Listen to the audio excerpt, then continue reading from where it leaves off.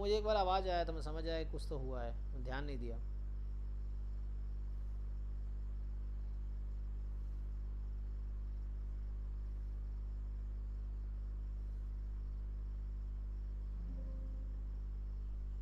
अब क्या बोल रहा है? ठीक है ना? अब तो हो जाना चाहिए। हम्म ये सही है। बैकअप भी रहेगा। अच्छा रिकॉर्डिंग तो आप करके गए थे ना? वो बीच में रोक दिए थे।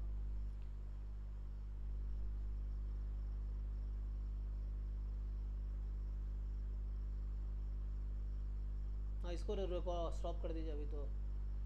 अब स्टार्ट करेंगे इस बैच का।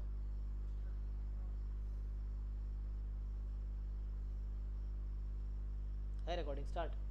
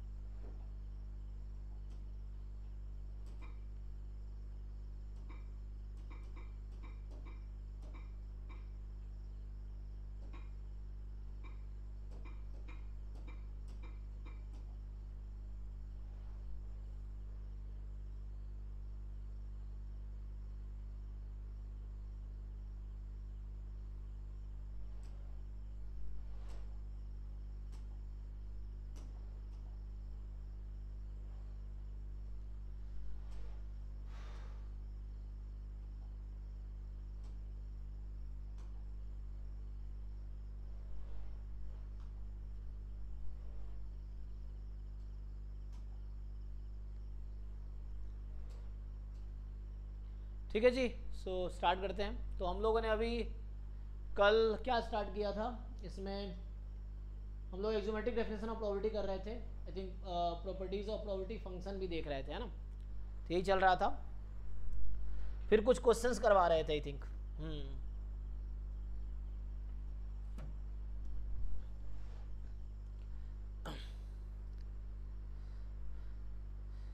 चलो थोड़े से आगे बढ़ते हैं। फिर इसमें क्या है? कि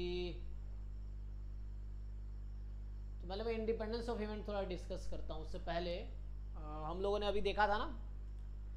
लास्ट क्लास में क्या देख रहे थे? पेयर वाइज डिजॉइंट और म्यूचुअली डिजॉइंट ये देखा था ना? हाँ और यहाँ पे सो थोड़ा सा अभी conditional property based theorem independent of events तो कंडीशनल पहले बताऊँ क्या? कंडीशनल तो इजी है। या कुछ क्वेश्चन प्रैक्टिस करोगे? कल हम लोग कुछ क्वेश्चन पहले उससे कुछ क्वेश्चंस करो। जो कल हम सॉल्व कर रहे थे तो उसके हाँ उसमें एक दो क्वेश्चन सॉल्व करके देख लो। जैसे क्वेश्चन ये है क्वेश्चन लिखो, फिर हम टाइम कोई ख़त्म हो गया था। तो इसको ज़रा सॉल्व करो। ये जैसे क्वेश्चन है let E and F be two events mike किसी का ऑन है म्यूट कर लो किसका ऑन है? ये कौन है नाम बोल दीजिए। अमित हाँ so B event be two events ठीक है?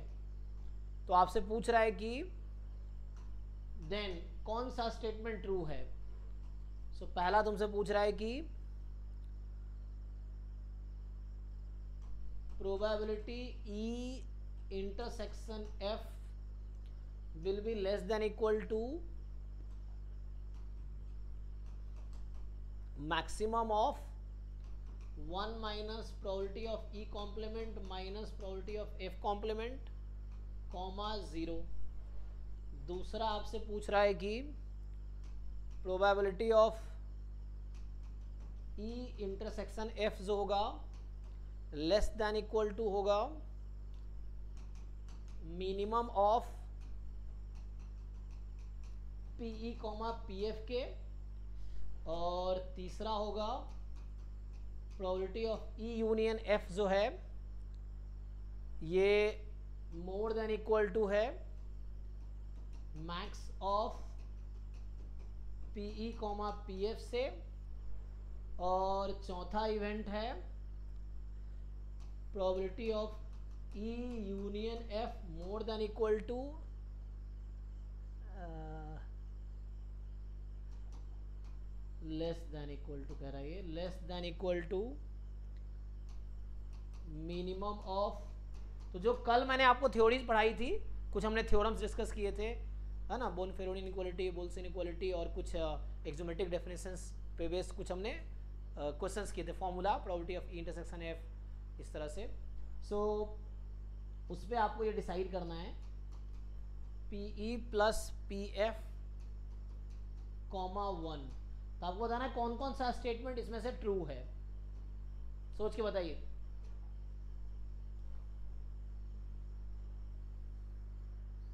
सो so, इनमें से कौन कौन सा स्टेटमेंट ट्रू है ये बताना है। देखो मैं फिर से ही कह रहा हूँ कि थ्योरीज आप पढ़ रहे हैं ठीक है वीडियोस देख रहे हैं बुक्स पढ़ रहे होंगे। ये सब क्वेश्चन सॉल्व कर पाना इंपॉर्टेंट है एंट्रेंस क्वालिफाई करने के लिए। सो so, आपको यहाँ पे करेक्ट ऑप्शन चूज़ करना होगा। ऐसे ही क्वेश्चन आपके एग्ज़ाम में आएँगे। और अगर आप यहाँ नहीं चूज़ कर पाएँगे एग्ज़ाम में भी तो फिर आपके मार्क्स नहीं आएँगे तो सिलेक्शन नहीं होगा। The thing is you should be able to solve question तो पर्पस ये है। तो आप ट्राई कीजिए सॉल्व करने की कोशिश कीजिए। गलतियाँ हो रही तो उसको पकड़िए। क्या गलती हो रही है क्यों उसको नहीं हो रही है उसको ठीक कीजिए। तो ट्राई कीजिए इसको। The thing is problem solving solving problem problem solving is important तो ये पहला क्वेश्चन है। दूसरा क्वेश्चन है ये कि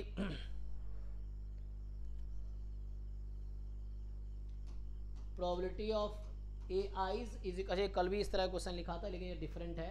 Two by three for I बराबर one two three four probability of A I intersection A J complement J complement this is equal to one by six ठीक? फिर ये भी है for all I different than J चार नहीं, तीन के लिए लिख लो। ठीक है?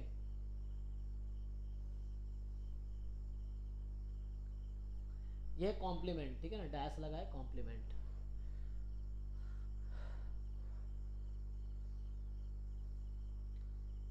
और साथ में और कंडीशन है कि probability A one intersection A two intersection A three A three complement तो ये कॉम्प्लीमेंट लिख दो, ये कॉम्प्लीमेंट जो है this complement is equal to one by six again यानी क्वेश्चन कल ऐसा लिखा था, एक क्वेश्चन लास्ट में जो कर रहे थे बट नॉट एग्जैक्टली सेम था। तो आपसे पूछा जा रहा है सो इन सबको यूज़ करके ये इन्फॉर्मेशन है आपके पास कि A one A two A three की प्रोबेबिलिटी टू आई थ्री है और आई जे इक्वल नहीं है। तो A one intersection A two complement A two intersection A three complement A three intersection A one complement इस तरह से दे रखा है। तो वो वन बाई सिक्स है। A one A two A three का कॉम्प्लीमेंट वन बाई सिक्स है। तो आपसे पूछ रहा है, बताइए then what is the probability of A one union A two union A three so ये सब एंट्रेंस में इस तरह के क्वेश्चंस आते हैं जैम और गेट में.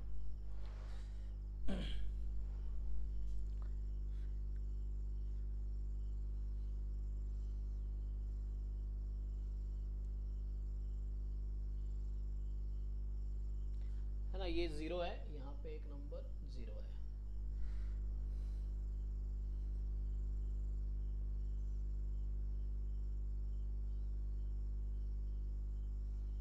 so first second. D, sir, question one option D true होगा।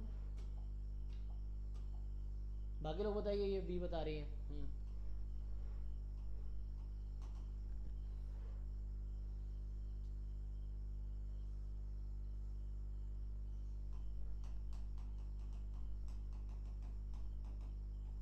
अब D होगा सर अब डी हो गया डेली? हाँ सर दोनों होंगे more than one option correct हो। हाँ more than one option correct हो सकता है। अच्छा तो आपके सी भी है। More than one option correct हो सकता है कोई प्रॉब्लम नहीं। जैम गेट दोनों में एमएसक्यू आते हैं multiple select questions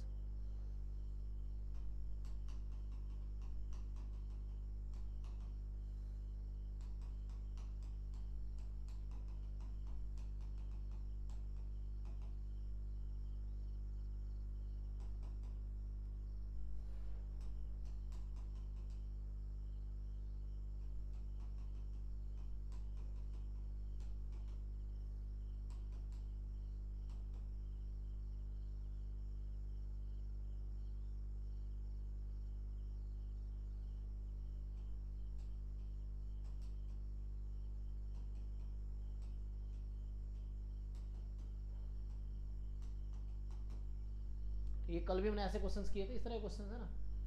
so so, ये आपके पास तीन क्वेश्चन यहाँ पे लिखे हुए हैं। सो ट्राई ऑल थ्री और आंसर बताओ।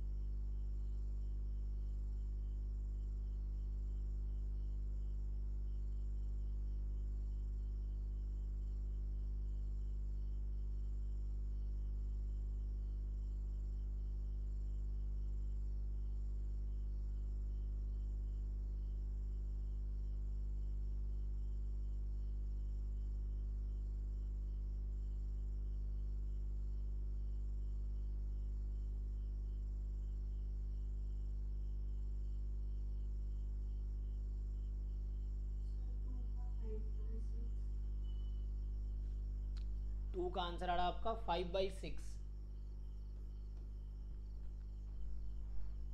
okay third का बताइए हम्म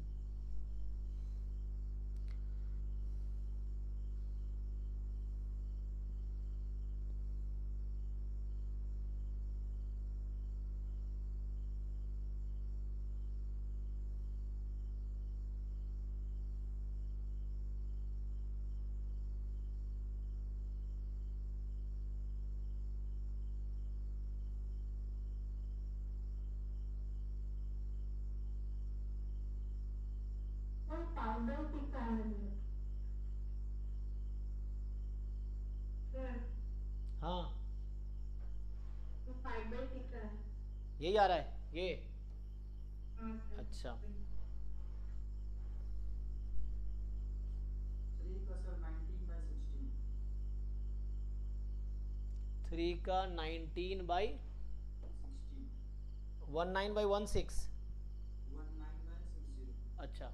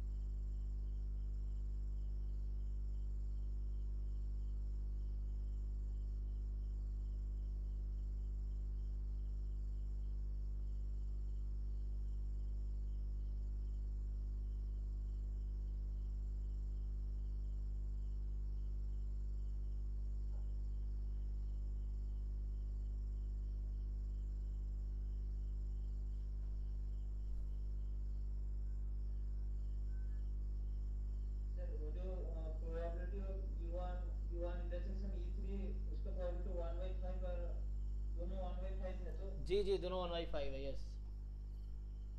Both are on Wi-Fi.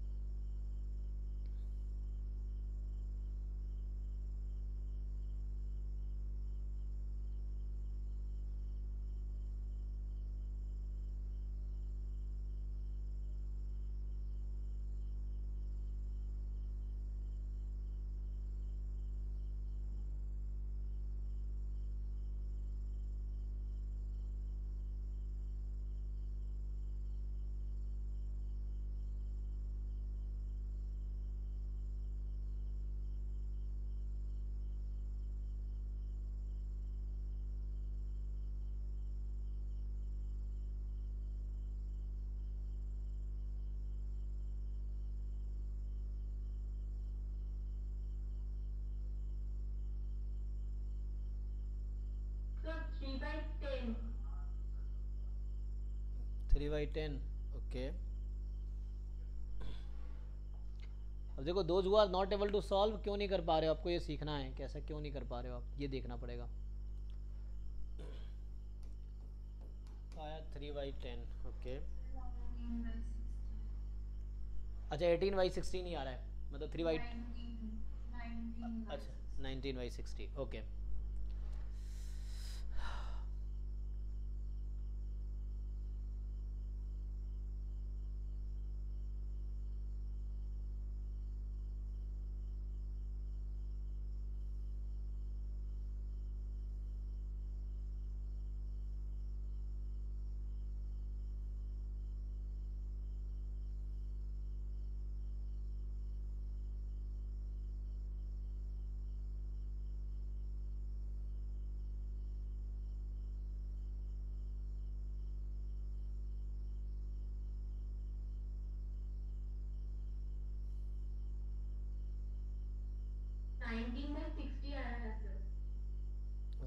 nineteen by sixty आ गया।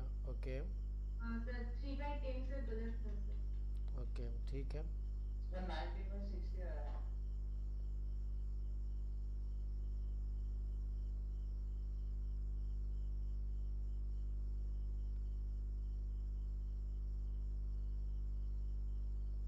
चलो मैं सॉल्व करता हूँ फिर है ना? सबने सॉल्व कर लिए तो।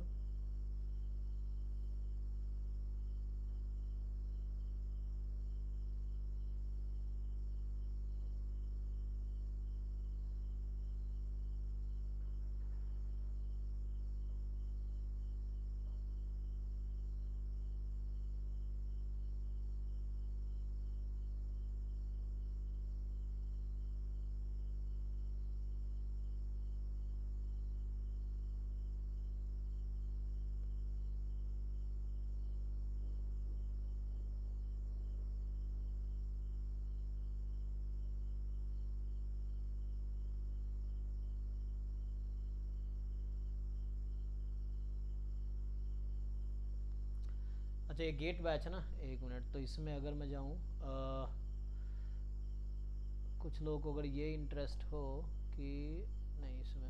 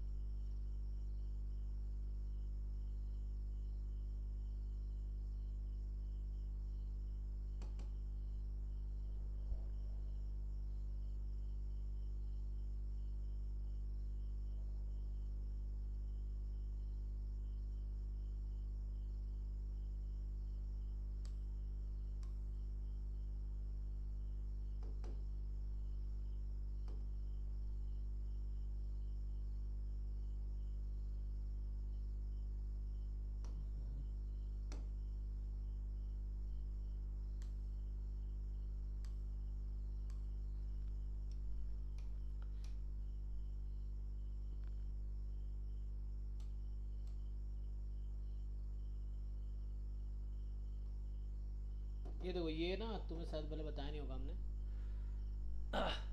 सो जैसे गेट का जो सिलेबस है ना, वो इतने पार्ट्स में डिवाइड है, आपने सिलेबस देखा ऑलरेडी यहाँ सिलेबस ओपन है है ना? ये सिलेबस हमारा यहाँ पे ओपन है। इसमें है ना? तो जो सिलेबस में क्या सेक्शन है? Calculus matrix theory probability standard discrete and continuous univariate distribution फिर यहाँ स्टोकेस्टिक प्रोसेस फिर आपका है estimation testing of hypothesis non parametric statistics multivariate analysis regression analysis ख़त्म, है ना? तो इसके हिसाब से अगर आप यहाँ देखोगे सो ये सिलेबस के टॉपिक्स हैं, है ना? Calculus matrix theory probability standard discrete and continuous university stochastic process estimation testing of hypothesis non parametric multivariate regression तो ये रफली आइडिया हमारी टीम के लोगों ने बनाए हैं। तो ये रफली एक आइडिया मिल जाएगा आपको।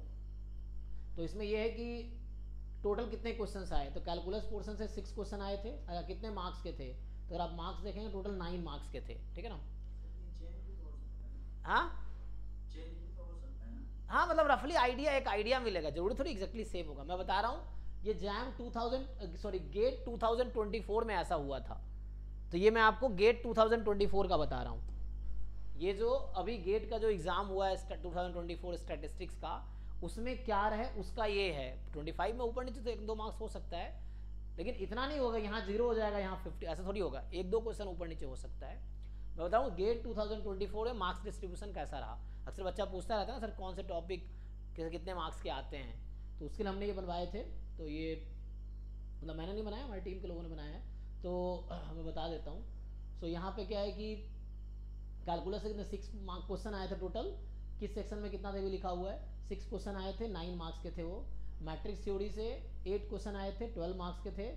प्रोबेबिलिटी से पाँच क्वेश्चन थे तो यहाँ प्रोबेबिलिटी में एक्चुअली रैंडम वेरिएबल इंक्लूडेड है, ये ध्यान रखना। क्योंकि जैम गेट का सिलेबस अलग तरीके से लिखा गया है। जैम में जो प्रोबेबिलिटी उसमें सिर्फ़ बेसिक प्रोबेबिलिटी है। गेट में जो प्रोबेबिलिटी इन्होंने लिखा है, वहाँ पे रैंडम वेरिएबल भी इंक्लूडेड है। जो गेट का प्रोबेबिलिटी इन्होंने लिखा है ना axiomatic definition properties conditional probability base theorem independence random variable their distribution distribution function PMF PDF expectation moment moment genetic function quantile है ना quantiles distribution function of random variable Chebyshev Markov Jensen equality तो ये, यहाँ जो probability इन्होंने लिखा है, पूरा लिख दिया है। जैम वाले जो प्रोबेबिलिटी लिखे हैं, वो यहाँ से लेकर जस्ट इनका यहाँ पे खत्म हो जाता है। इंडिपेंडेंस ऑफ़ इवेंट्स के आसपास खत्म हो जाता है। तो यहाँ उनका रैंडम वेरिएबल से अलग बना रखा है। तो दोनों में सिलेबस और अलग तरीके से लिखा गया है। तो ये जो एनालिसिस है इस सिलेबस के हिसाब से है। ठीक है? तो मैं ये बता रहा हूँ। Uh, uh, uh,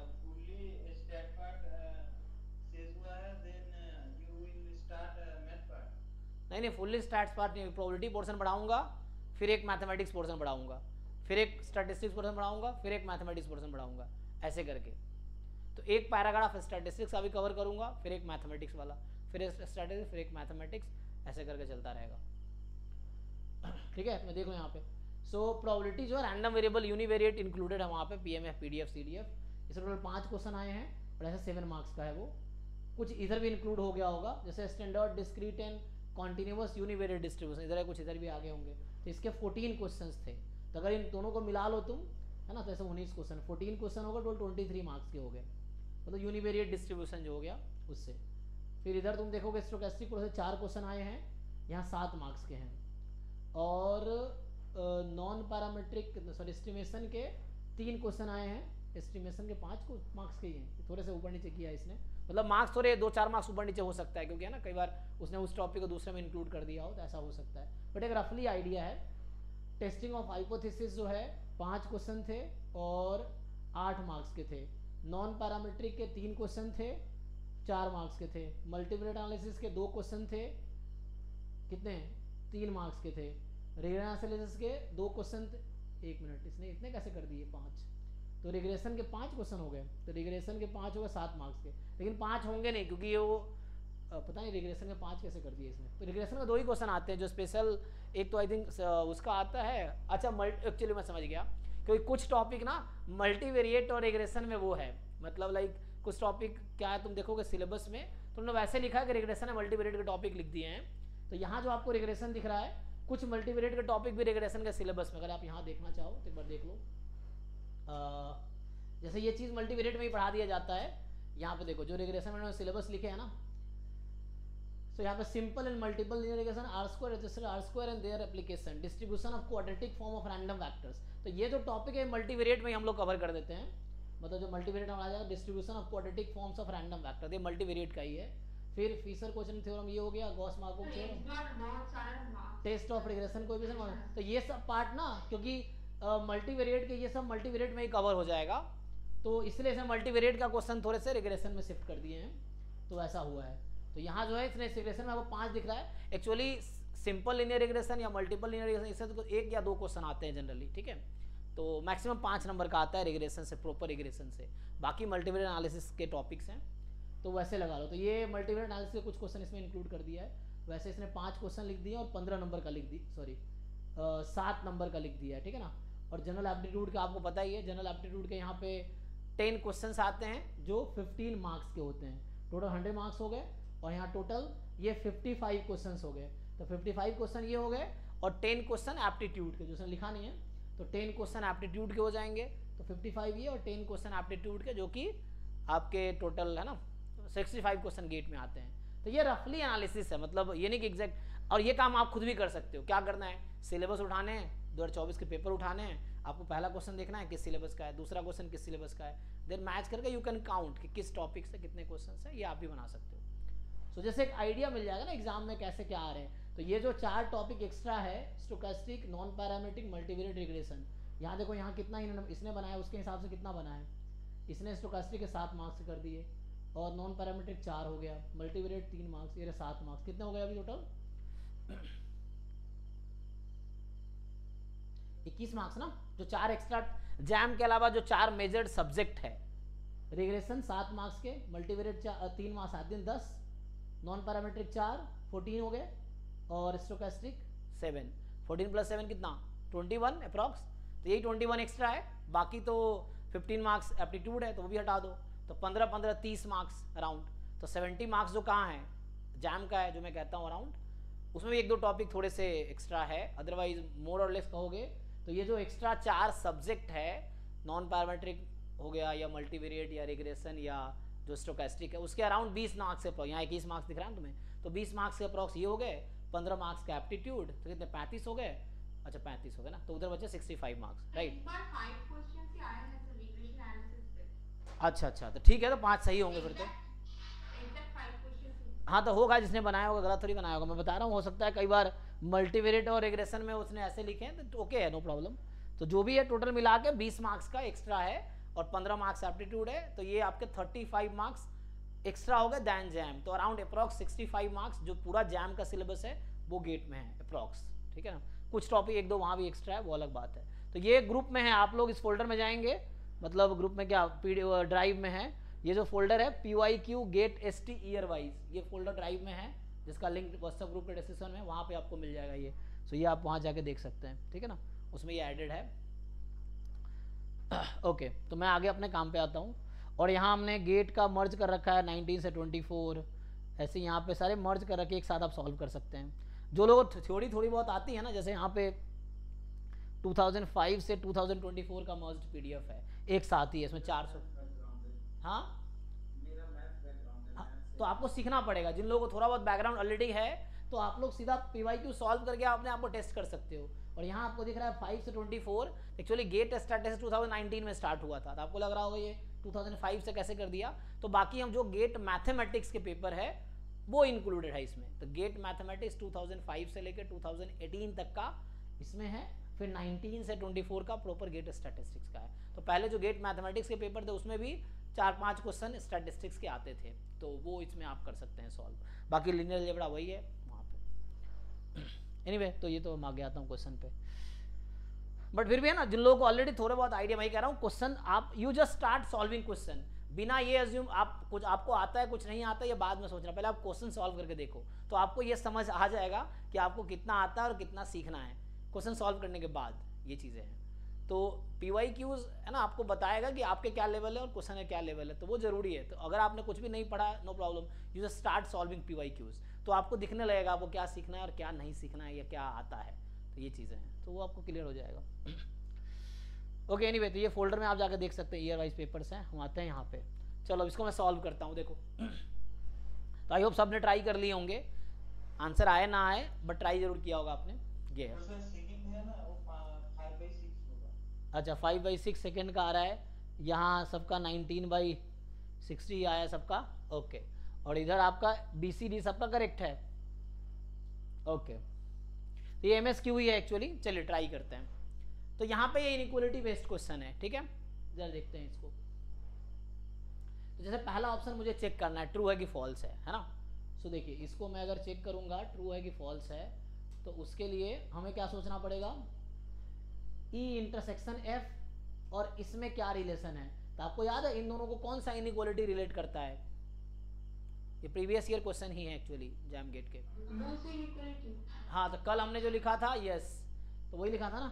सो बुल्स इनक्वालिटी इसको रिलेट करता है। तो अब देखिए क्या कहता है।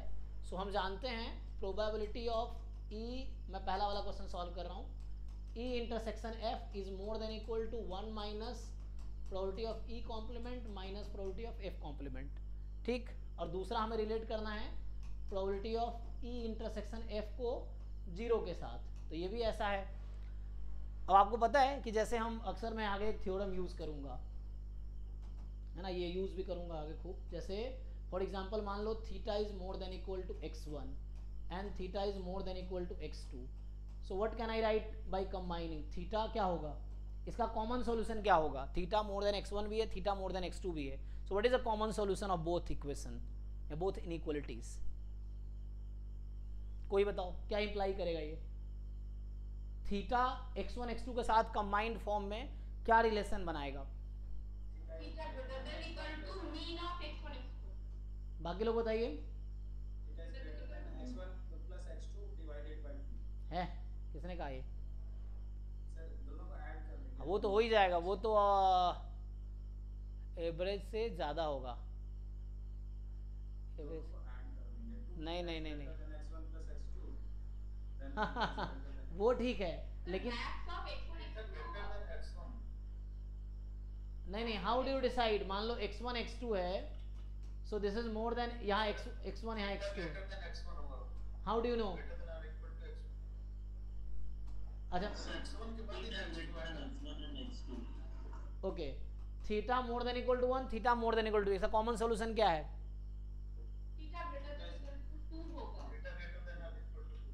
Okay okay. Than equal to 2 होगा Theta greater than or equal to 2. Okay और अगर मैं ऐसा कर दूँ theta more than equal to one by two theta more than equal to one by three इसका कॉमन सोल्यूशन क्या होगा? 1 by 2. सो so, क्यों ऐसा हो रहा है? यहाँ आपने ये टू को चुना है यहाँ आपने वन बाई टू को चुना है ऐसा क्यों? तो क्योंकि मैक्सिमम लेना है। पता चल रहा है। X1 x2 में नहीं पता चल रहा था नहीं नहीं। यहाँ तो पता चल रहा है कि हाँ, वेरिएबल था इसलिए तो आपको रियलाइज़ नहीं हो रहा है इसकी वजह ये है कि ये मैक्सिमम है इन दोनों में। इसकी वजह ये है कि ये मैक्सिमम है इन दोनों में। आप अगर ग्राफ पे देखें तो आपको इजीली समझ आ जाएगा। जैसे एक में वन लिया, एक में टू लिया। तो एक थीटा इससे भी ज़्यादा थीटा इससे भी ज़्यादा। कॉमन सोल्यूशन ये आया। दूसरे वाले में क्या हुआ? ये है वन बाई थ्री और ये है वन बाई टू थीटा इससे भी ज़्यादा, इससे तो कॉमन सोल्यूशन ये आया। तो वजह ये है, जो राइट साइड में होगा कॉमन सोल्यूशन वो होगा। एक्चुअली रीज़न ये है। तो यहाँ एक्स वन एक्स टू में पता ही नहीं आपको कौन सा राइट साइड में होगा theta will be greater than maximum of x1 हाँ तो जो मैक्सिमम होगा उससे ज़्यादा। तो ये सब आगे मैं यूज़ करूँगा एम के क्वेश्चन है इन सब में खूब यूज़ होगा ये थ्योरम तो यहाँ वही यूज़ करूँगा मैं। सो so, लाइक like, ये होगा कि कि अगर आपको कहीं पे ऐसा मिले कि एक थीटा कॉमन क्वांटिटी जो x1 से भी ज़्यादा है x2 से भी ज़्यादा है सो कॉमन सॉल्यूशन आएगा theta more than equal to maximum of x1 comma x2 और ये इफ़ एंड ओनली इफ़ भी होता है। बोथ वे थ्योरम है। If this happen then this happen this happen then this happen तो ये if and only if double implies है। ऐसे दूसरा थ्योरम है कि theta less than equal to x one and theta less than equal to x two if and only if क्या होगा? Theta is less than minimum minimum of x1 comma x2 हाँ तो यहाँ आ जाएगा theta less than equal to minimum of x one comma x two ये तो अब यहीं पे यहाँ यूज़ करेंगे। अब ध्यान दीजिए तो इन दोनों थ्योरम को यूज़ करूँगा इस क्वेश्चन में जो अभी क्वेश्चन में लिखा है। अब ज़रा समझिए इसको। सो so, अब यहाँ तो अरे थोड़े से खुद भी दिमाग यूज़ कर लो। जैसे मैंने अभी एग्ज़ाम्पल लेके तुम फटाक से तो वो एग्ज़ाम्पल लेके सेम एग्ज़ाम्पल से कर लो ना। तो मैं क्या समझा दूँगा तुम्हें अलग से? जो एग्ज़ाम्पल मैंने ये समझाया वही एग्ज़ाम्पल खुद लिख के चेक कर लो। अभी मैंने लिखा था theta less than equal to one theta less than equal to two तो क्या सॉल्यूशन होगा इसका? कॉमन सोल्यूशन क्या है इसका?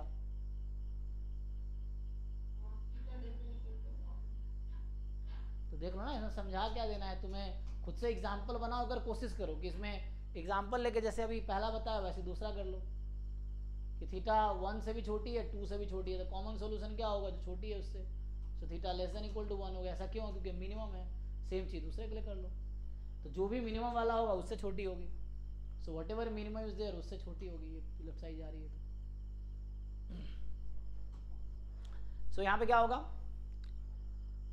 मतलब ये जस्ट एक बेसिक अंडरस्टैंडिंग है ना कि थीटा इससे छोटी दोनों तो क्या होगा? दोनों का मिनिमम से भी छोटी होगी क्योंकि दोनों छोटी है ना। सो so, मिनिमम से भी छोटी होगी। इसको यूज़ करते हैं। अब यहाँ ध्यान दो। ए ये कॉमन क्वांटिटी है ये थीटा है समझ लो अभी एग्ज़ाम्पल के लिए। This is more than this and this is more than this तो इसका कॉमन सोल्यूशन क्या लिखेंगे हम लोग यहाँ पे?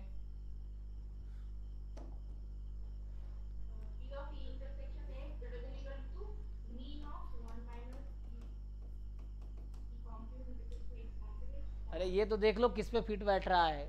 कब तक सीखोगे मैं सही तो दिमाग उमाग लगाना ही नहीं। अरे मैं कह रहा हूँ देख तो लो क्या ये है कि theta more than equal to x one theta more than equal to x two इसे फिट बैठ रहा है ना? सो व्हेन दिस तो ये थ्योरम है। This is a result so that you need to use so simply यहाँ से क्या आ जाएगा? More than equal to maximum of both so ये यूज़ करना अगर मोर देन इक्वल टू है तो मैक्सिमम लेस देन है तो। सो वो मोर देन है तो मैक्स यूज़ दोनों क्वांटिटी का मैक्स यूज़ कर लो।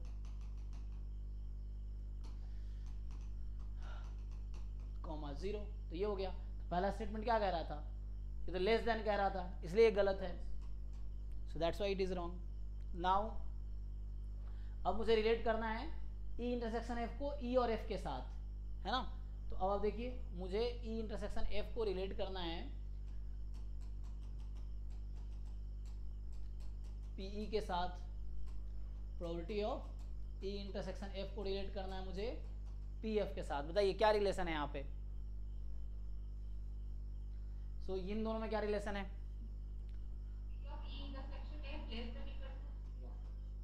हाँ ठीक है because E intersection F is subset of E E intersection F is subset of F correct अब इनका कॉमन सॉल्यूशन क्या आएगा? देखो इनमें किस पे मैच कर रहा है ये? ठीक है ना? So e intersection f will be less than equal to minimum of pe comma pf हो गया so ये देखो यहाँ पे क्या लिखा हुआ है ऐसा। So this is this तो true है ये स्टेटमेंट ऐसे ही अब हमें रिलेट करना है ई यूनियन एफ़ को pe और pf के साथ सिमिलर है। So यहाँ पे जैसे अभी किया हमने तो इंटरसेक्शन के साथ किया। यही चीज़ अब यूनियन के साथ कर लेंगे। सो so, यूनियन में क्या है? Probability of e union f और PE probability of E union F and PF अब आपको पता ही है कि यूनियन सुपर सेट है। तो सुपर सेट है तो इसका कॉमन सॉल्यूशन क्या आएगा? हाँ more than equal to maximum of both ठीक? ये आ जाएगा कि probability of union F more than P E more than P F तो मैक्सिमम से ज़्यादा हो जाएगा। सो ये more than equal to maximum होगा ये भी ट्रू है।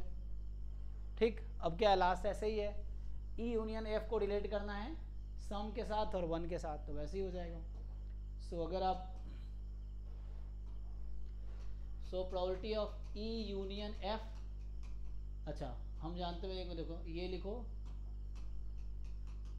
P E plus P F कल लिख रहे थे ना? इसका क्या कंडीशन है? क्या मतलब बीच में कौन सा साइन आएगा?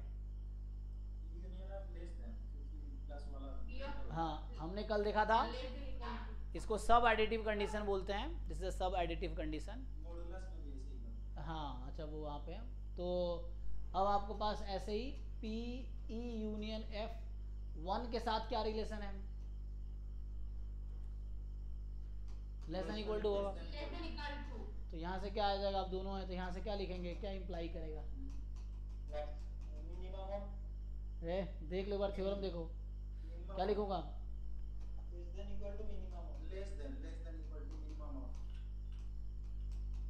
P E plus P F comma में वन यही ना? तो ये हो जाएगा। So P E comma P F है ना कॉमा वन हो जाएगा। ये आ जाएगा। सो so, सो so ये भी ट्रू हो जाएगा। मिनिमम है हाँ। तो ये भी ट्रू हो गया। तो इस तरह से ठीक है? अब यहाँ पे देखो नेक्स्ट क्वेश्चन जो था सेकंड वाला, कि हमें ईच ए आई की प्रोबेबिलिटी पता है। A one A two A three तीनों की प्रोबेबिलिटी पता है। यहाँ A one intersection A two complement A two intersection A three complement A three intersection A one complement इस तरह से ये वन बाई सिक्स है। फिर हमें ये दे रखा है। अब पूछ रहा है कि बताओ ये क्या होगा। तो इसका फॉर्मूला तो हम जानते ही हैं। P A one plus P A two ये अगले पेज पे सॉल्व करूँ। सो so, यहाँ से A one union A two union A three so property of A one plus A two plus A three minus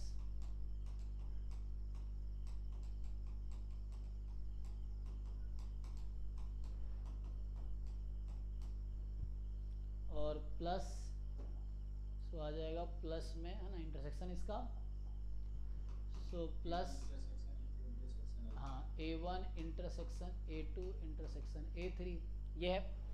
अब क्या करना है आपको? अब यहाँ पे एक्चुअली सो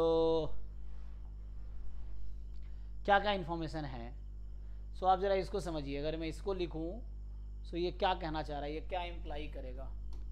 ये इम्प्लाई करेगा property of A I minus हाँ A I intersection A J is equal to one by six यही तो है ये। So A one minus A one intersection A two इस तरह से आ जाएगी। ठीक। तो यूज़ कर लो इसको, चलो। तो मुझे क्या करना है? और यहाँ पे क्या करना है? यहाँ से क्या आएगा? यहाँ से आएगा probability of A one minus इसकी कंडीशन क्या आ जाएगी? Sorry A one intersection A two minus ना? क्योंकि ए माइनस बी टाइप का है। So A one intersection A two minus probability of A one intersection A two intersection A three बराबर one by six ये बनेगा? यहाँ से? तो और यहाँ से वो आ जाएगा। ये मुझे पता ही है तो ये निकल आएगा। तो एक काम करते हैं, निकाल लेते हैं वैल्यूज़ ठीक है? देखो जैसे ये है A one intersection A two complement ना तो यहाँ देखो पुट कर लेते हैं। सो so, मुझे इन सब की सबकी वैल्यू एक्चुअली क्वेश्चन में दे रखी है तुम देखो ध्यान से। तो सबकी वैल्यूज़ क्वेश्चन में गिवन है।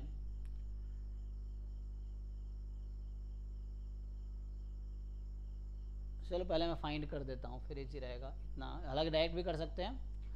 So probability of A one minus probability of A one intersection A two बराबर वन बाई सिक्स है। ए वन की प्रोबेबिलिटी मुझे पहले से पता है है ना?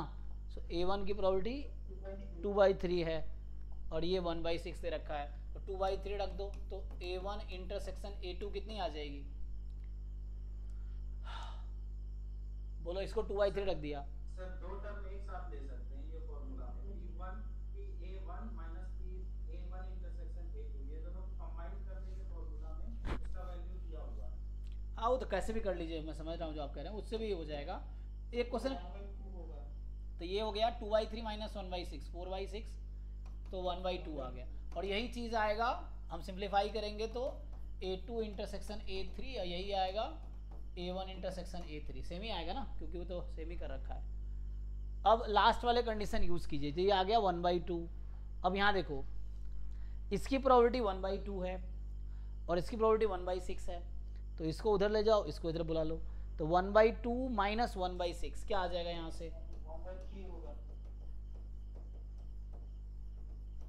सो वन बाई थ्री आ जाएगा, ठीक है? सो ठीक है तो यहाँ से आ गया पुट कर लो, सारी वैल्यूज़ पता है। So two by three minus three times same ही तो है। माइनस इसकी प्रोबेबिलिटी है वन बाई टू ये भी थ्री टाइम्स क्योंकि तीनों की वैल्यू सेम ही है। प्लस कितना आया था? वन बाई थ्री आया था। सो ये कर लो थ्री थ्री कट गया। तो हो गया two minus three by two plus one by three तो two minus three by two one by two plus one by three कितना हो गया? फाइव बाई सिक्स सबका यही आया था, सही है ना? तो हो सकता है आपने अलग तरीके से सॉल्व किया हो, वो भी करेक्ट है। मैंने अलग तरीके से किया है तो अपना अपना तरीका है। यही सीखना इंपॉर्टेंट अगर आप खुद अपने तरीके से कर पा रहे हैं, सही आंसर आ रहा है तो एग्ज़ाम में भी आप इजीली कर पाएँगे। सो वो सीखना है वही ज़रूरी है सीखना कि आप सॉल्व कर पाओ फाइनल आंसर निकाल पाओ ये ज़रूरी है। तो है ना सबने आंसर बताए थे करेक्ट ही था ये। सो so, ये फाइव बाई सिक्स सबका आ गया। अब यहाँ पे था कि हमें ये पता ही तो कर लोगे ना कल भी ये क्वेश्चन किया था मैंने। At least two of the three events occur कम से कम टू अकर हो रहा है। या तो टू और ऑल थ्री तो ये कल मैंने इस तरह क्वेश्चंस कई सारे कराए थे। कल का जो क्लास एंड हुआ था इस तरह के बहुत सारे क्वेश्चंस लिखे थे उसमें कराए थे। तो अगर आप वो वाले क्वेश्चन कर पा रहे हो तो ये भी कर पाओगे। ये तो लास्ट क्लास वाले कर पा रहे हो तो ये इजीली हो जाएगा, क्योंकि सारी कंडीशन दे ही रखी है। तो मैं आगे बढ़ता हूँ, चलो। ये कुछ क्वेश्चन प्रैक्टिस के लिए था, अब थोड़ा सिलेबस उस पर आते हैं। है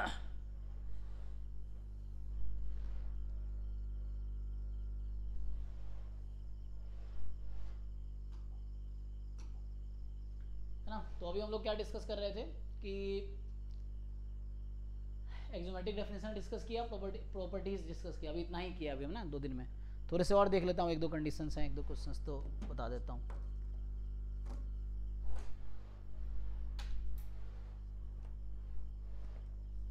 सो so, इसमें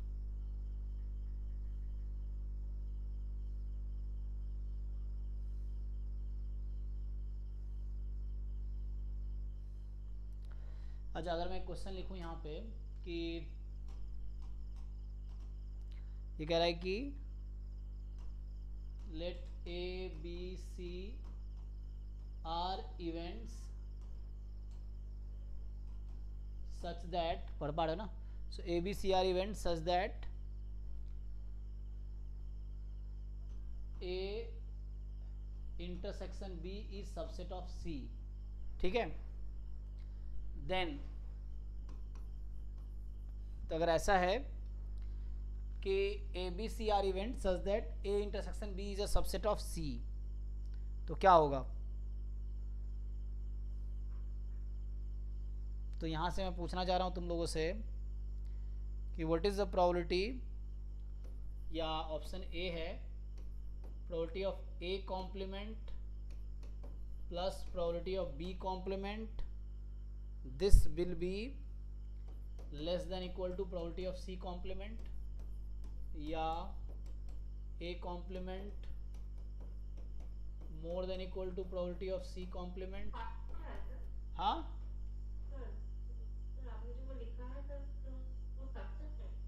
जी जी सबसेट है हाँ सब जी जी this is a subset of yes so A intersection B is a subset of C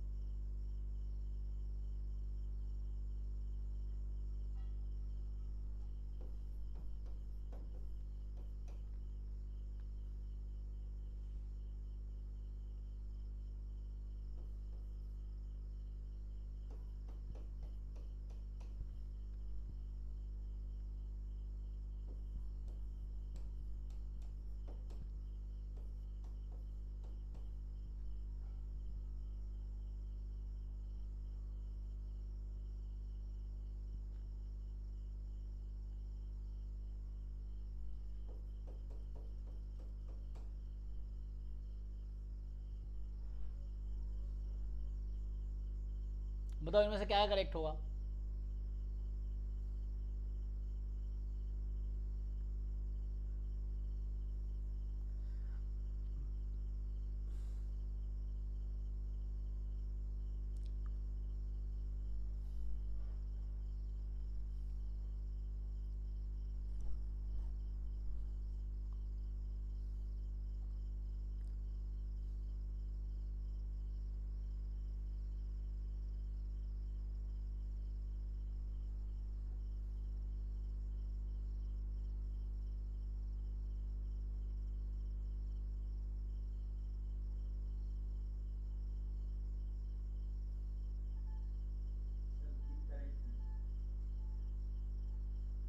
more than one correct हो सकता है। तो आप कह रहे हैं बी करेक्ट है। अच्छा। इस तरह के एग्ज़ाम में क्वेश्चन मिलेंगे, मैं बोल रहा हूँ। तो इसलिए आपको डिसाइड आप कोशिश करके एटलीस्ट एक स्टैंड लो कि आप क्या करेक्ट मानोगे। ये है। तो ये आप इसे बता रहा बी करेक्ट है। मोर देन वन करेक्ट हो सकता है। देख लो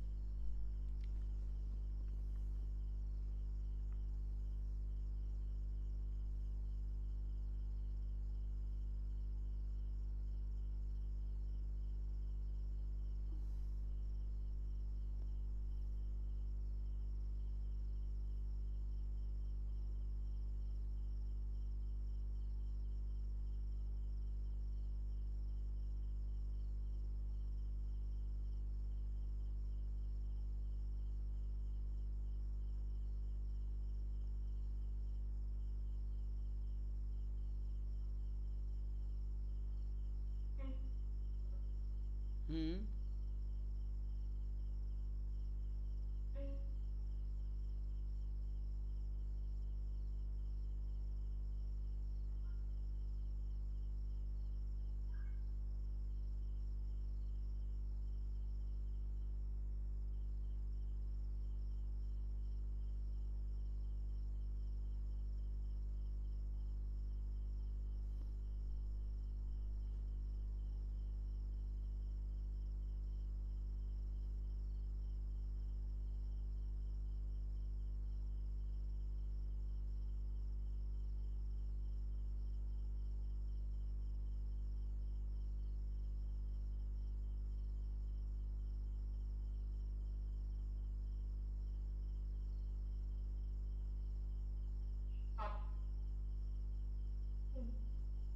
आवाज़ क्लियर नहीं आ रही आपकी?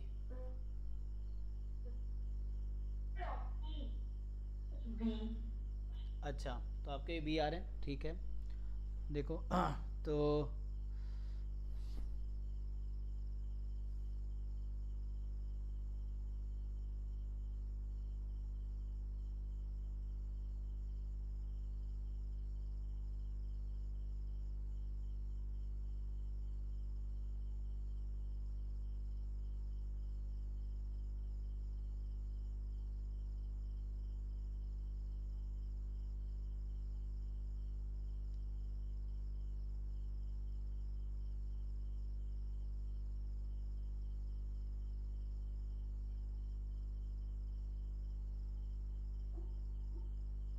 चलो ट्राई करते हैं ना। तो, तो तीन लोगों ने ट्राई किया मैं करता हूँ। हम्म।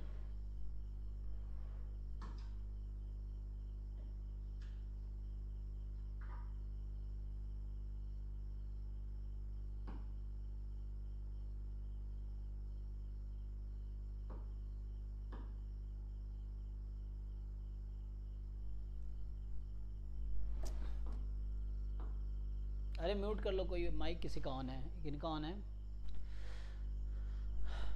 हाँ ठीक है देखो मैं सॉल्व कर देता हूँ। तो देखो आप एटलीस्ट ट्राई करो गलतियाँ करो कोई प्रॉब्लम नहीं है। ट्राई करो उससे क्या पता चलेगा? गलतियाँ पता चलेगा। या तो सही आंसर निकाल पाओगे या गलत आंसर आएगा तो आप सीखोगे ये। तो देखिए जैसे हमने कहा कि ए इंटरसेक्शन बी सबसेट है सी का। तो चूँकि यहाँ सब कॉम्प्लीमेंट की बात कर रहा है तो मैं कॉम्प्लीमेंट लगा देता हूँ। तो आप ये जानते होंगे मान लो अगर ऐसा है अ, मैं ऐसे लिखता हूँ। अगर E सबसेट है F का तो E कॉम्प्लीमेंट और F कॉम्प्लीमेंट में क्या रिलेशन होगा? अगर E सबसेट है ठीक है? सेम यहाँ पे अप्लाई करते हो, ये एक कॉन्सेप्ट है है ना? जिन बहुत लोगों को पता होगा, कुछ लोगों को नहीं पता होगा। सो ई सबसेट एफ़ का तो कॉम्प्लीमेंट लेंगे तो से सबसेट ऊपर सेट हो जाएगा। तो यहाँ ऐसा करते हैं। सो ए इंटरसेक्शन बी का पूरा कॉम्प्लीमेंट ले लिया मतलब कॉम्प्लीमेंट तो ये सुपर सेट हो जाएगा सी के कॉम्प्लीमेंट का। ठीक? अब इसको अगर खोलोगे आप तो ये हो जाएगा A complement De Morgan's law De Morgan's law कहता है कि this is superset of C complement तो मतलब ये वाली क्वांटिटी सुपर सेट है इससे। और प्रोबेबिलिटी में अभी मुझे फिर थ्योरम लिखना पड़ेगा यहाँ पे। सो ये थ्योरम ही है, जो कि मैंने लिखा नहीं, कि if E is subset of F then probability of E is less than equal to probability of F क्या इसका कन्वर्स ट्रू होगा? यस और नो मैं बोला हूँ ई सबसेट एफ़ का है ना? तो कन्वर्स में नॉट बी ट्रू मैं एग्जांपल लिखूँगा है ना? ऐसा नहीं कि ई की प्रोबेबिलिटी कम है एफ़ से तो सबसेट ही होगा। सबसेट नहीं भी हो सकता है ठीक है ना? सो so, मैं एग्जांपल लिखूँगा अभी तो आप समझो। सो ये थ्योरम है एक। तो वही यहाँ पे लगाता हूँ। ये सुपर सेट है जिसकी प्रोबेबिलिटी ज़्यादा होगी इसकी कम होगी। So this will imply probability of A complement union, B complement will be more than equal to probability of C complement. तो एक चीज़ देखो, ये गलत है इसका मतलब क्योंकि हमने इनइक्वालिटी बदल दी है है ना? यूनियन था लेस देन कह रहा है ये वहाँ मोर देन इक्वल रहा है।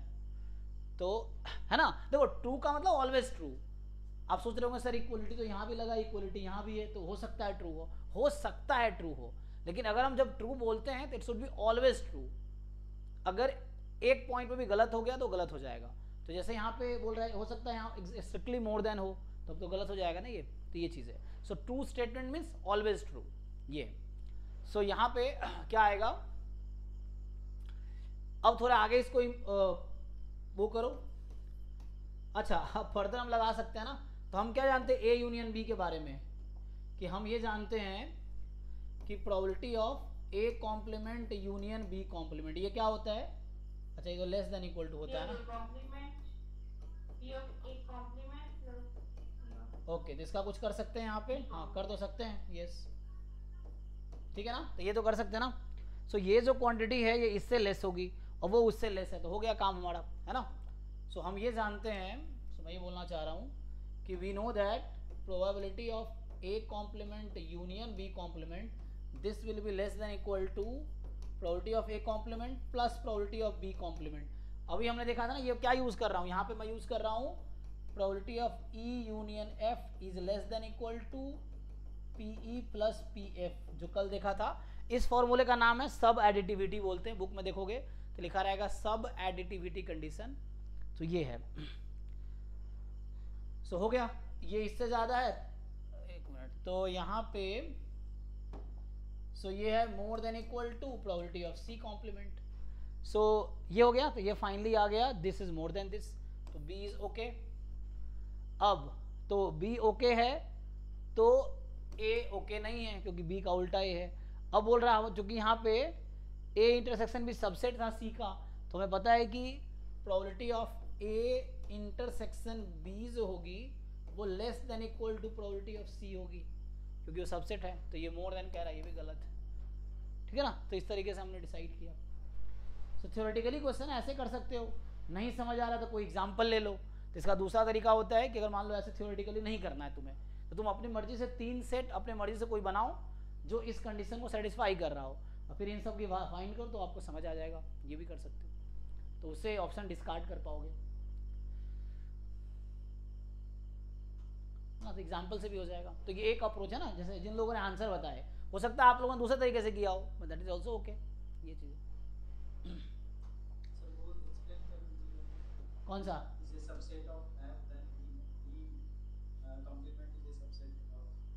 Uh, हाँ जैसे एग्ज़ाम्पल ले लेते हैं चलिए। हाँ हाँ बिल्कुल बिल्कुल। वेन डायग्राम से ऐसे देख लो ना। मान लो हम कहते हैं सैंपल स्पेस अभी एक क्वाइन वाला केस या डाइस वाला ले लो। डाइस पे वन से सिक्स है। चलो मान लो ई e है, आपके पास वन टू और एफ़ है वन टू थ्री ठीक? तो अभी क्या रिलेशन है ई एफ़ में? ई e सबसेट है एफ़ का करेक्ट ई e के सारे एलिमेंट एफ़ में है। अब मुझे आप बताइए ई कॉम्प्लीमेंट कौन सा सेट होगा? टू वन टू को छोड़ दीजिए। थ्री फोर फाइव सिक्स अब आप सोचिए एफ़ कॉम्प्लीमेंट कौन सा सेट होगा? वन, टू, थ्री छोड़ दीजिए। तो वन, टू, थ्री छोड़ देंगे तो फोर, फाइव, सिक्स। अब आप डिसाइड कीजिए कौन सा लार्जर सेट है, कौन सा सबसेट, कौन सा सुपर सेट। तो ये सुपर सेट हो गया। क्योंकि ये सबसेट हो गया इसका। तो अभी ई सबसेट है एफ़ का। तो यहाँ एफ़ कॉम्प्लीमेंट सबसेट हो गया ई कॉम्प्लीमेंट का, इस तरीके से। तो ये है। से हाँ हाँ हाँ वो थोड़ा बना सकते थे वो मैं दिखा देता हूँ। सो वेन डायग्राम में ये होगा कि जैसे ई सबसेट है एफ़ का दिख जाएगा। ये ई e है और ये एफ़ है। सो ये मान लीजिए ई सबसेट है एफ़ का। अब आप रियलाइज़ करो इसमें ई e के अंदर इतने एलिमेंट हैं। तो ई कॉम्प्लीमेंट मतलब कौन सा पोर्शन ई e को छोड़ के। और एफ़ कॉम्प्लीमेंट का मतलब कौन सा पोर्शन एफ़ को छोड़ के। तो आप सोचो ई e के बाहर ज़्यादा स्पेस है या एफ़ के बाहर ज़्यादा स्पेस है? हाँ तो ई के बाहर मतलब ई कॉम्प्लीमेंट तो ई कॉम्प्लीमेंट ज़्यादा है एफ़ कॉम्प्लीमेंट से। ठीक है? सो ये वाला जो पोर्शन है, ये व्हाइट पोर्शन सो ये जस्ट एफ़ कॉम्प्लीमेंट है। और अगर आप ई कॉम्प्लीमेंट लिखेंगे so E complement will be this one this will be E complement so ये जो मैं सेट कर रहा हूँ, ये ई कॉम्प्लीमेंट है इंक्लूडिंग दिस ठीक है? तो ये जो अभी मैं, क्या कलर बोलेंगे इसको? बैगनी कलर है ना? तो सो ये जो कलर मैंने लिया है, ये हमारा ई कॉम्प्लीमेंट है। हाँ जो व्हाइट था वो एफ़ कॉम्प्लीमेंट था। तो ऐसे समझ आ जाएगा। Okay okay. अच्छा इसका मैं काउंटर एग्जांपल देता हूँ ना? जैसे कई लोग समझते हैं अभी कुछ दिन पहले। सो so,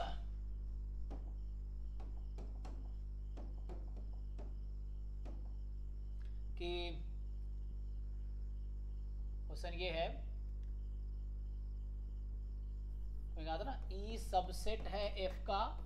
तो गारंटी है कि probability of E less than equal to probability of F होगी। इसका कन्वर्स ट्रू नहीं है। अगर ऐसा होगा ज़रूरी नहीं ऐसा होगा है ना? ये चीज़ है। कन्वर्स ट्रू नहीं है। सो है ना तो ये थ्योरम है एक्चुअली सो बट हाँ यस वही वही हाँ। कन्वर्स इज़ नॉट ट्रू तो एग्ज़ाम्पल देख लेते हैं। जैसे हमने एक डाई को रोल किया। ये आपके पास है। अब जैसे ई मैं ले लेता हूँ है ना? वन मान लो एग्ज़ाम्पल के लिए। एफ़ ले लेता हूँ। थ्री फोर ठीक? सो so, यहाँ से ये मान लो हमारा जो डाई है वो फेयर डाई है। सो प्रोबेबिलिटी ऑफ़ ई कितनी हो जाएगी यहाँ से? One by six? एफ़ कितनी हो जाएगी? Two by six. सिक्स। तो इन दोनों में रिलेशन क्या है यहाँ पे? यहाँ आपने क्या देखा? यहाँ आपने देखा कि प्रोबेबिलिटी ऑफ़ ई कम है प्रोबेबिलिटी ऑफ़ एफ़ से। तो क्या आप ऐसा कह सकते हैं कि ई सबसेट होगा एफ़ का? क्या हम ऐसा बोल सकते हैं? क्या ई सबसेट है एफ़ का Any is less than N- NF बोल सकते हैं Number- cardinality of E is less than cardinality. हाँ वो हो सकता है प्रोबेबिलिटी नहीं बोल सकते ना। कार्डिनलिटी तो ठीक है। प्रोबेबिलिटी तो कार्डिनलिटी सबसेट नहीं बोल सकते है ना। सो दिस इज़ नॉट तो ऐसा नहीं बोल सकते कि यहाँ पे है। सो so, ज़रूरी नहीं है ना? यहाँ ये बोल दें बट बट ये है यहाँ पे कि तो ये एक एग्ज़ाम्पल हो गया कि ई e की प्रोबेबिलिटी कम है एफ़ से बट ऐसा नहीं कर सकते कि ई e सबसेट एफ़ का। तो हो सकता है वहाँ दूसरा एलिमेंट हो यहाँ दूसरा एलिमेंट इस तरीके से सो। So, ये होगा। हाँ तो कई लोगों को लगता है क्वेश्चन में ऐसा रहता है, कई लोगों को ये लगता है लगता है ये ई से ऐसा ज़रूरी नहीं है है ना? नंबर ऑफ़ एलिमेंट का बोल सकते हैं चलिए, एक और जैसे, ये गेट में इस तरह के क्वेश्चन आ जाते हैं तो मैं थ्योरम लिखा देता हूँ। इसको बोलते हैं कंटिन्यूटी थ्योरम ऑफ़ प्रोबेबिलिटी तो इसमें क्या होता है कि कि यहाँ पे आपको दे रखा है है ना इस पे गेट में क्वेश्चन आए भी हैं पहले इस थ्योरम पे इसका यूज़ करके। तो ये बोल रहा है A n be a non decreasing sequence तो पहले तो मुझे डिफाइन करना पड़ेगा नॉन डिक्रीजिंग सीक्वेंस क्या होता है। Non decreasing sequence of events है ना? सो so, आप लोग जो वहाँ पढ़ते हो सीक्वेंस ऑफ़ रियल नंबर्स पढ़ते हैं। यहाँ हम बात कर रहे हैं सीक्वेंस ऑफ़ इवेंट्स की। बाद में आएगा सीक्वेंस ऑफ़ रैंडम वेरिएबल है ना? एक तो सीक्वेंस ऑफ़ रियल नंबर्स होता है, जो कैलकुलस में एनालिसिस में आता है। Calculus of event sequence of events अभी देख रहे हैं। आगे सीक्वेंस ऑफ़ रैंडम वेरिएबल आएगा। तो सीक्वेंस का मतलब है वो एन पे डिपेंड कर रहा है कहीं ना कहीं। ये मतलब है। So non decreasing sequence of events तो मान लो ऐसा है कि let A one A two and so on है ना? Be sequence of events such that तो ये नॉन डिक्रीजिंग है मतलब इंक्रीजिंग हो सकता है या इक्वल हो सकता है? ये मतलब है ना नॉन डिक्रीजिंग है। तो इंक्रीजिंग या इक्वल हो सकता है। तो ये हो जाएगा A one subset of A two subset of A three subset of A four and चलता रहेगा। या दैट इज़ ऐसे भी लिख सकते हैं आप। That is A n is subset of A n plus one for all n belongs to natural number ऐसा भी लिख सकते हैं ना? कि एन बढ़ रहा है तो वैल्यू बढ़ रही है तो मतलब इंक्रीजिंग सीक्वेंस है, या नॉन डिक्रीजिंग बोलेंगे क्योंकि इक्वल भी हो सकता है इसीलिए। अच्छा तो इसमें अगर आपसे मैं पूछ लूँ यहाँ पे तो इसको आप कैसे लिखेंगे? सो अब बस रिमार्क लिख रहा हूँ मैं, कि अगर इस ये वाला सीक्वेंस है मान लो तो आपसे मैं पूछ लूँ A one union A two union so on चलता जा रहा है तो ये किसके इक्वल आएगा सर वो सबसे लास्ट वाला हाँ सबसे लास्ट वाला। तो मैथमेटिकली इसको हम ऐसा लिखेंगे। Limit n tends to infinity A n ऐसा लिख सकते हैं? क्योंकि हमें पता है लास्ट वाला कौन सा सेट है? कैसे लिख पाएँगे, क्या है? तो ये वन टू थ्री फोर चल रहा है। तो जैसे हम सबका यूनियन लेंगे तो हमें सबसे, क्योंकि पता है कि A one union A two A two हो जाएगा। A one union A two union A three A three हो जाएगा, क्योंकि जो लार्जेस्ट सेट होगा। तो इस तरीके से आ जाएगा यहाँ पे। और अगर मैं बात करूँ यहीं पे A one intersection A two and so on ये किसके इक्वल आएगा? तो ये ए वन के इक्वल ठीक है ना? सबसे छोटा वाला। तो ये चीज़ है क्योंकि इसमें सबसे छोटा ये है इंटरसेक्शन लेंगे तो छोटा वाला आएगा। यूनियन लेंगे तो जो लास्ट वाला आएगा इंटरसेक्शन में सबसे छोटा वाला आएगा। तो ये सबसे लार्जेस्ट है। वैसे ही तो अब ये नॉन डिक्रीजिंग है तो सिमिलर तौर पे नॉन इंक्रीजिंग डिफाइन हो जाएगा है ना? तो जैसे मैं अगर नॉन इंक्रीजिंग सीक्वेंस डिफाइन करता हूँ देख लो किसी को कन्फ्यूज़न है कुछ पूछ सकते हो आप। तो ये इवेंट्स हैं ये क्या है? सीक्वेंस ऑफ़ इवेंट्स हैं। इवेंट्स क्या होता है? एलिमेंट ऑफ़ सिग्मा फ़ील्ड मतलब सैंपल स्पेस का सबसेट सर वहाँ पे अपर लिमिट दिया है है क्या है कहाँ पे? नहीं नहीं अभी जस्ट लिमिट है। ये कुछ वो लिमिट सुपीरियर लिमिट इन्फीरियर कर सकते हैं आप। सुपीरियर ले सकते हो आप। ये है। सो अल्लाह हमने तो लास्ट लिखा है तो बात वही है, इसमें ये आ जाएगा। लिमिट सुपीरियर फिर डिफाइन करना पड़ेगा मुझे, ये क्या होता है, इसका डेफिनेशन क्या है? कोई जगह सुपीरियर भी डिफाइन मत करो ना फिर मुझे डिफाइन करना पड़ेगा। चलो, अभी सो नॉन इंक्रीजिंग सिमिलर तौर पर डिफाइन हो जाएगा। सो नॉन इंक्रीजिंग मतलब डिक्रीजिंग समझ सकते हो डिक्रीजिंग और equal so non increasing sequence of events ठीक है? Non increasing sequence of events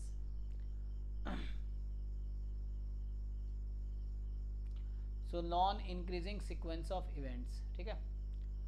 सो ये हमारे पास आएगा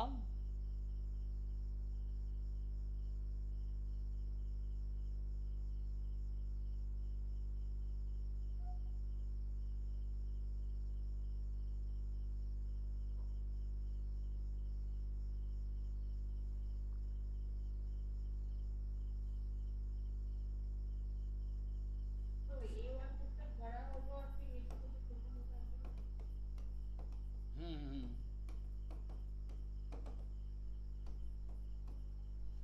greater than equal to a2 greater than equal to a3 हाँ sequence of events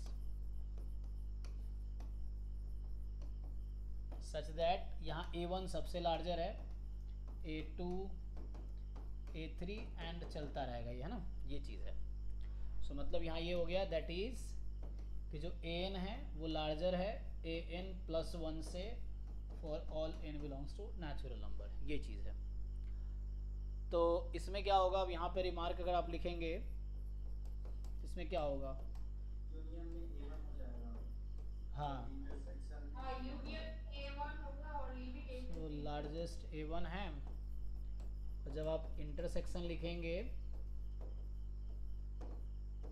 तो कितना आएगा? ए ठीक है ना? तो ए एन है। ठीक है? तो इस तरह से है। इसको हम शॉर्ट में भी लिख सकते थे। तो इस चीज़ को हम लोग ऐसा भी लिख सकते थे। यहाँ जो लिखा हूँ मैं। सो so, जैसे ये जो चीज़ है इसको मैं ऐसा लिख सकता हूँ intersection of A i's i from one to infinity है ना? ये जो था union of A i's i from one to infinity same बात है है ना? सो so, ये जो क्वांटिटी इसको ऐसा लिख सकता हूँ शॉर्ट में. इसको नोटेशन के फॉर्म में ये लिख सकता हूँ. सेम यहाँ पे भी है कि ये जो हमने लिखा हुआ है कि this thing is union of A i's i from one to infinity और ये intersection of A i's i from one to infinity. इस तरीके से है। Union of A i i from one to infinity intersection of A i's i from one to infinity इस तरह से। So so, ये समझना है। बट सिचुएशन के हिसाब से है। अब ये हम आते हैं कंटिन्यूटी थ्योरम पे। थ्योरम क्या कहता है? सो so, इसमें दो थ्योरम है। तो ये थ्योरम कहता है कि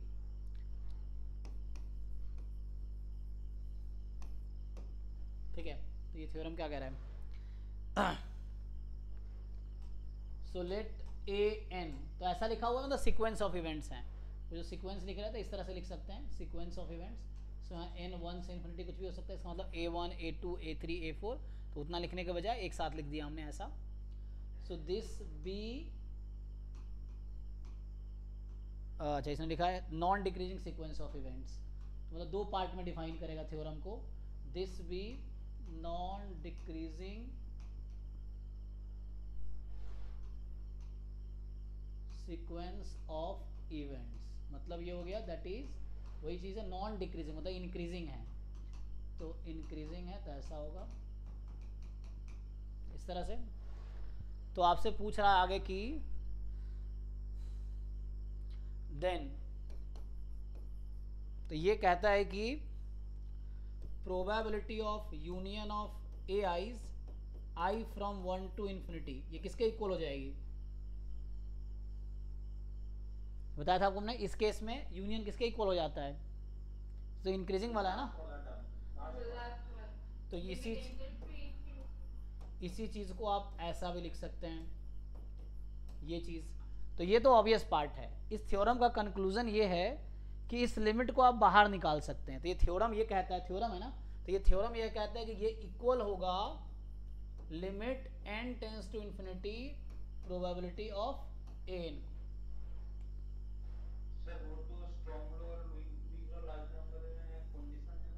क्या है?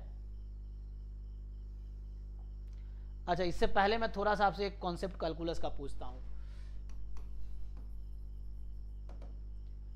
Limit n tends to infinity f of n tends to नहीं limit x tends to a f x is equal to f of limit x tends to a. ऐसा कब हो सकता है? आ, क्या कर रहा हूँ मैं? यहाँ पे रुको रुको मैं क्या बोलना चाह रहा हूँ? हाँ लिमिट इनसाइड कब शिफ्ट कर सकते हैं हम? सो एफ़ ए कब बोल सकते हैं? ऐसा कब होता है? यहाँ मैं लिखना क्या चाह रहा था? हाँ लिमिट ऑफ़ एक्स तो वो तो ए ही हो जाएगा ना। मतलब ये तुम समझ रहे हो ना इस चीज़ को? ये समझो। मैं बताना चाह रहा हूँ कि लिमिट इनसाइड कब शिफ्ट होता है फ़ंक्शन में? तो ऐसा मैं कब कर सकता हूँ? इंक्रीजिंग या डिक्रीजिंग नहीं नहीं नहीं नहीं। हाँ? मोनोटोनिक फ़ंक्शन में सर मोनोटोनिक तो ठीक है। अच्छा इसको मैं ठीक से तुम अभी समझ आ जाएगा। ये x की limit x tends to a पे का क्या होगी? इसकी मैं क्या वैल्यू लिख सकता हूँ इस चीज़ की? ये क्या है? x टेंस टू ए है ना? तो x को हटा के हम a रख देंगे। अब बताओ ये कब इक्वल होती है? नहीं नहीं ये किसका डेफिनेशन है?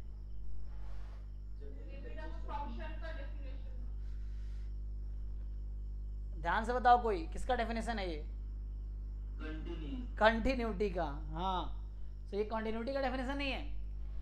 कि limit of function is equal to value of function ना? Limit at a is equal to limit of function at a is equal to value of function at a तो मैं बस यही बताना चाह रहा हूँ कि मैं तुम्हें पूछना ये चाह रहा था कि ये ए क्यों हो जाता है? डेफिनेशन में ए क्यों लिखता है? एक्चुअली ए इसलिए लिख रहा है ना ये, कि limit x tends to a x ऐसा है। तो एक्चुअली ये कुछ नहीं है ए है, क्योंकि एक्स की limit x tends to a है ये। तो f x x tends to a बराबर एफ़ है तो ये a है। ऐसा कब करते हैं? If and only if f is continuous function तो यहाँ मैं ये बताना चाह रहा हूँ, इससे तुम्हें बस ये बताना चाह रहा हूँ यहाँ पे कि इस थ्योरम का नाम कंटिन्यूटी थ्योरम क्यों है? ये जो थ्योरम है ना, इसका नाम है, इस थ्योरम का नाम है कॉन्टिन्यूटी थ्योरम ऑफ़ प्रोबेबिलिटी तो ये कॉन्टिन्यूटी से कैसे रिलेटेड है? तो कॉन्टिन्यूटी से रिलेटेड है कि you can take limit outside a function और ये तभी ऐसा हो सकता है जब फ़ंक्शन कॉन्टिन्यूअस हो। तो मतलब ये थ्योरम है। कैसा?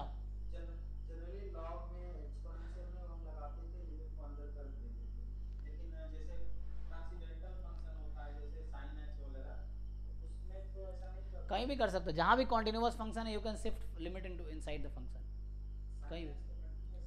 हाँ? है। हाँ तो लगा सकते हैं। जैसे मैं इसी का दूसरा वर्जन बताऊँ आपको। ये तो डेफिनेशन था। सो ये एक्चुअली डेफिनेशन था। सो ये थ्योरम नहीं इसको तो मैं आपसे ये पूछूँ। ये थ्योरम लिखता हूँ कि limit f of x n n tends to infinity is equal to f of limit n tends to infinity x n ऐसा कब कर सकते हैं हम? बताओ ऐसा मैं कब कर सकता हूँ? लिमिट को इनसाइड शिफ्ट कब कर सकता हूँ मैं? हाँ। Continuous function F is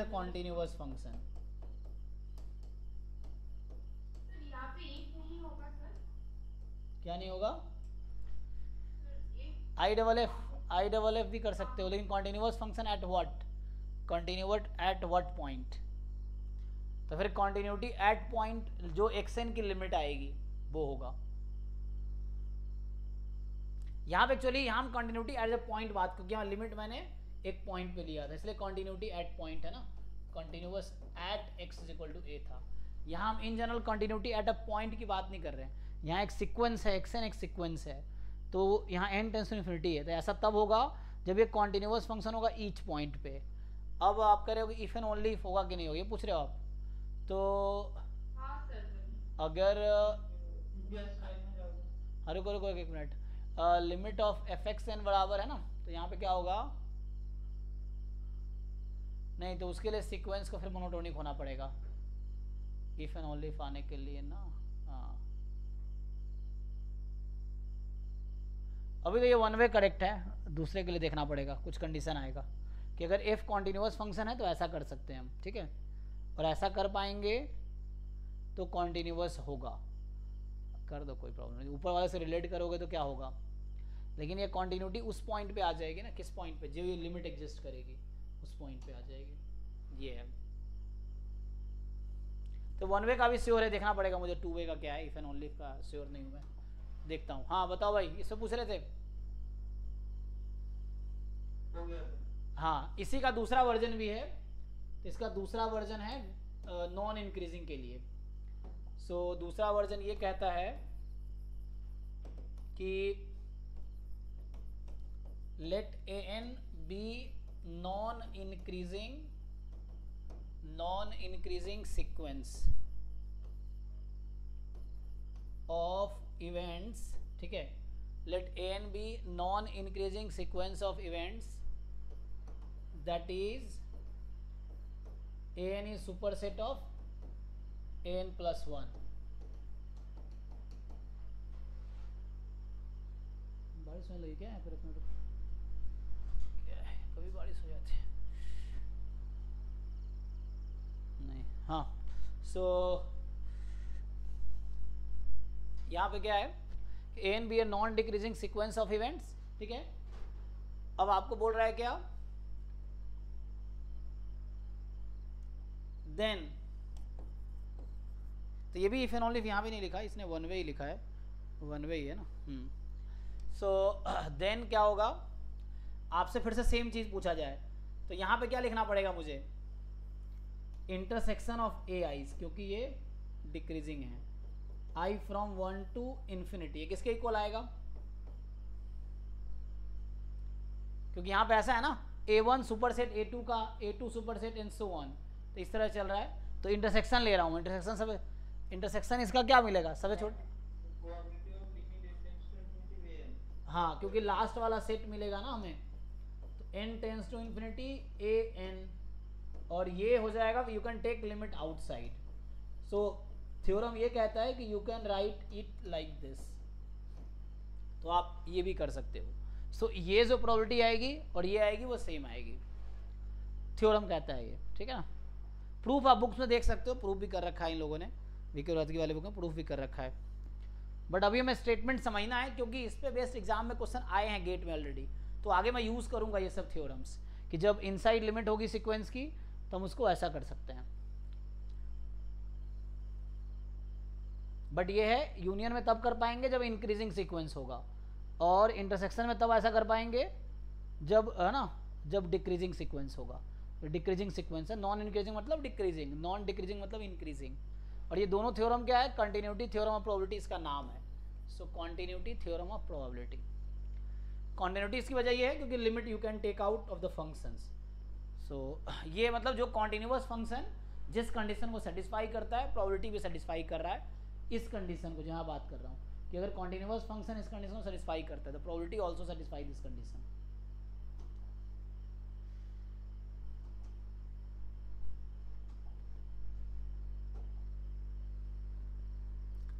so so, और क्या है इसमें? तो और तुम्हारे पास है जनरली है ना कंटिन्यूटी थ्योरम अब आता है ज्योमेट्रिक प्रोबेबिलिटी तुम्हारे पास क्या है? तो इसको थोड़ा हाँ. तो इसको स्टॉप करते हैं अभी अगले क्लास में इसको कंटिन्यू करता हूँ मैं. तो आज हमने क्या डिस्कस किया है? आज अभी तो ये कंटिन्यूटी थ्योरम देख रहे थे. इससे पहले कुछ क्वेश्चन सॉल्व किए हैं. ठीक ना? तो आज ज़्यादा कवर नहीं किया। नॉन डिक्रीजिंग डिक्रीजिंग ये अच्छा ये कुछ क्वेश्चंस कर रहे थे ये कुछ क्वेश्चंस हमने किया है आज तो प्रैक्टिस किया है। तो इस तरह से आप बहुत सारे क्वेश्चन प्रैक्टिस कर सकते हो। ड्राइव में बहुत सारे असाइनमेंट्स हैं पी वाई क्यूज़ हैं you can just solve GATE या JAM P Y Q JAM तो करना ही पड़ेगा सब लोगों को फिर से ताकि रिकॉल रहे। सो पी वाई क्यू ढंग से रिपीटेडली सॉल्व करो ये है। ये भी कर सकते हैं। देखते हैं अभी आगे थोड़ा शॉर्ट पड़ेगा तो स्टार्ट हुआ है ना सिलेबस हाँ हाँ। तो ये भी सही है। तो अगर इसको फिर हमें या थोड़ा सा मैं आगे खींच देता हूँ टाइम को उधर ना। साढ़े छः से आठ अगर खाली रहेगा ना थोड़ा सा टाइम ऊपर कर दूँगा तो हो सकता है ये बैच नाइन टू इलेवन हो जाएगा और उधर सेवन टू नाइन हो जाएगा। आगे हो सकता है है ना? तो ये हम लोग कर लेंगे आगे अगर ऐसा होगा तो। अ, कि सेवन टू नाइन और नाइन टू इलेवन कर देंगे आगे। तो ऐसा कर सकते हो। अभी ठीक है हाँ थोड़ा सही बात है सिलेबस थोड़ा खींचना चाहिए। तो अभी ठीक है। हम्म। तो अगले क्लास से देखते हैं चलो। हाँ क्योंकि क्लास ना सवा घंटे हो पाती है बस।